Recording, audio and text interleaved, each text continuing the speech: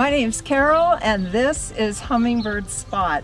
I'm here at Casa de San Pedro in Hereford, Arizona with Sheri L. Williamson, Tom Wood, and people that have gathered here to go on a river walk. These people are trying to turn me into a regular birder, so let's see what happens. We keep working on it. We began by walking the grounds at Casa de San Pedro and then ventured onto the path that led down to the river. Whoa, whoa, whoa, whoa, whoa, whoa. Oh, oh my, look at that, look at that. Just zooming Whoa. We saw many birds, including a phainopepla, summer tanager, blue grosbeak, willow flycatcher, and I loved seeing the Gambel's quail. I used to have quail when I lived up in the Sierras, and I really miss seeing them running around. Another great sighting was a gray hawk perched high up in a tree surveying the territory. But afterwards, it was time for the hummingbird banding. Okay, we're from the Southeast Arizona Bird Observatory and we're going to be doing hummingbird banding this afternoon. This is a project that we have been doing for over 20 years now. We've been banding here on the river for 27 years. and these long-term banding projects are really important. And by banding, what I mean, we're going to, hopefully, catch some birds today and put a small aluminum band on them. Not one this size. This is one that would go on a crane or a swan, swan or something like that. You couldn't put one like this on an eagle because the eagle would just reach down and pry it off. They have special bands for them. But this is one that would go on a, a, a very big bird. Our bands are so tiny that they send them to us uh, as a flat sheet of aluminum with numbers on them. This is 100 bands and then Sheri has to make and form each individual band. And we've banded over 10,000 hummingbirds over the last 20 some odd years. So that's 10,000 little bracelets that Sheri, the jewelry, jewelry maker, has made. I'll pass around our little felt friend here. And you can see he's got a band on his leg. And it gives you an idea of the relative size of the band. It's probably uh, it, it's not going to impact their ability to fly and all that. It's the equivalent of us wearing a wristwatch. The, they're so light we can't even weigh them with the equipment that we have, but uh, uh, we can weigh 100 and extrapolate from there. And again, it's like wearing a wristwatch. This time of year, the migrants have already passed through, so we're down to our resident birds, and we've been doing this a long time. I, I generally say this time of year, the birds we catch, I expect them to already be wearing a band. More than half the birds uh, we catch this time of year are already wearing a band. But last week, we only caught three birds, but none of them were banded, so I'm not sure where they came from. Uh, we can kind of tell the banded birds just by their behavior around the trap. They're smart little guys, and if they've gone through that once before, not that it's so traumatic, but they know the ropes, and they'll come up to the trap and hesitate a bit, so we had to take the other feeders down to kind of encourage them to come. So we've got some birds around, not a lot right now, but I suspect we'll catch three or four. Uh, we look for pollen on the beak, that tells us what plants the, the, the uh, birds are feeding on.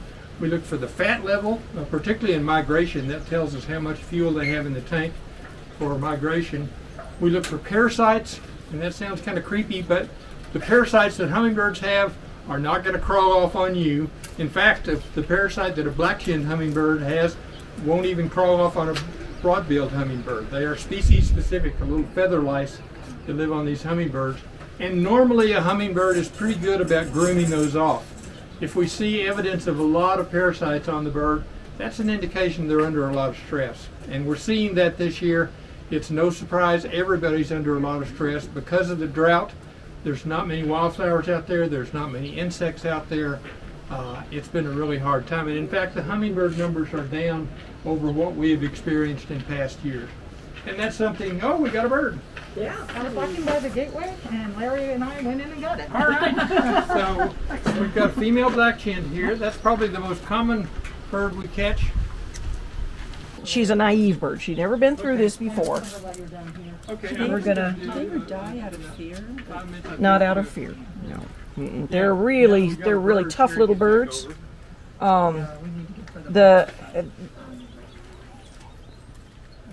Sheri, want to give you the that's, mic? Oh yeah. It's all right. It's all right. Um, it's actually much easier to handle hummingbirds than it is a lot of other birds because a lot of other birds just don't have the intellect to be able to process what's happening to them. And they do get really, really stressed out and just will sometimes go into seizures um, and just keel over from the stress of it all. And that's even true of birds we think of as big and brave and bold like raptors. Some raptors are really delicate creatures. Uh, and we could not have, you know, large numbers of the public standing around if we were banding raptors because of how sensitive they are. All right, so her band number is going to be M74171. The M on the front of the band number stands for four additional numbers because normal bird bands have nine numbers, a four digit prefix, and then five numbers. And you just can't fit that many numbers on a band this small. So she stopped flapping her wings. Is she? I'm holding her wings down, but only very, very gently. I'm just keeping her wings from flapping so that she doesn't damage her feathers or waste energy. And right now, she's just sort of playing possum. She's figuring if, if, if, if she can lay still enough for long enough, this predator that has a hold of her might lose interest and, and relax its grip, and she can get away. And of course, she will get away. Okay, ma'am. Oh, lovely, lovely, lovely, lovely. Tail feather out of alignment there. Yeah, she's already had a an encounter or two with a predator. She's got missing tail feathers uh, from where she, it could have been a fight with another hummingbird, but more likely she had a close escape with a predator. And what would be a predator? Oh gosh, almost anything that eats small birds or large insects is going to go for a hummingbird if they're hungry enough. The adult hummingbirds are good at getting away. Um, hang on here, I didn't zero my. Oh, there we go. Okay, now should get a more reasonable number now. 20.5, that's millimeters, that's less than an inch.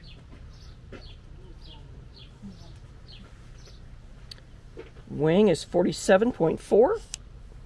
Dash for the tail length, R5 is P. Female black chins, adult females, and juvenile males have a triangular shaped white tip on the outer tail feathers.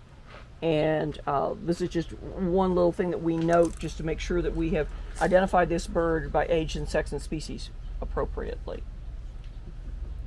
So how old is she? It's hard to know. She's a minimum of a year old, but but beyond that we can't really tell. Grooves are none. Grooves are little wrinkles in the bill where the bill is still young and growing, and we're not seeing much of that this time of year because we don't have very many successful nests yet this year. We're still hoping. Uh, buff is slight. Her back is wow, um, ninety percent fresh. She has a few little worn feathers on her rump and a few little bluish old feathers on her back, but G count is the pattern of, of on on adult males and females of species that have throat iridescence.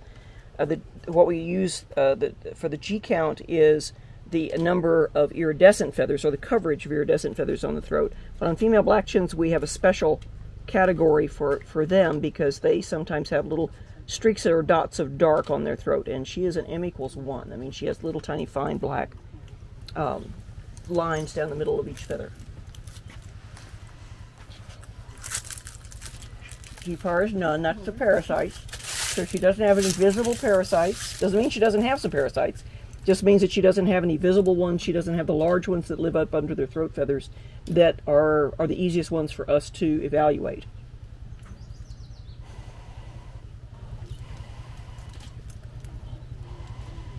Okay, she's peeing a little bit here. I need to. There we go. Okay. Molt is none. Fat is slight. Breeding is zero T, and pollen is none.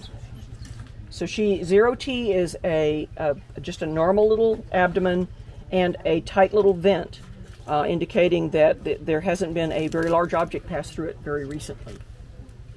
The eggs are fairly huge in proportion to the female's body size, so she is 3.6 grams, which is a respectable weight for a female black chin. Her crop was empty, by the way. So uh, there's not a lot of this weight that is liquid weight up in her crop from recently drinking, but she, uh, uh, I mean, they drink so much, she probably still has liquid in her crop from, or liquid in her belly from a previous encounter with the feeder. There we go. Okay. Alrighty. After the hummingbird is banded and examined, it is offered a drink and then released. Sheri answered everyone's questions about hummingbirds, her research, and her book, The Field Guide to Hummingbirds of North America.